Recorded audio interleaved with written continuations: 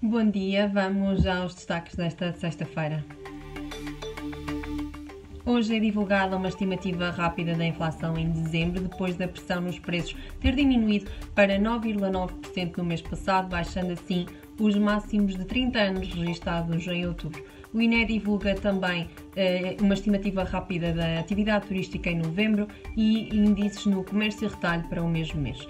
Encerra assim uma semana em Portugal marcada por polémicas na TAP e no governo, depois de se ter tornado público Alexandra Reis, antiga administradora da transportadora, recebeu uma indemnização de 500 mil euros.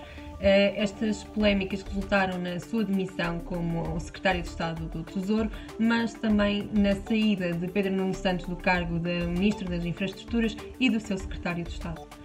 Em Espanha será também divulgada a taxa de inflação em dezembro, bem como as contas correntes nacionais, e nos Estados Unidos serão tornados públicos os, os impostos de Donald Trump entre 2015 e 2021, depois de pressão no Congresso feita pelo Partido Democrata.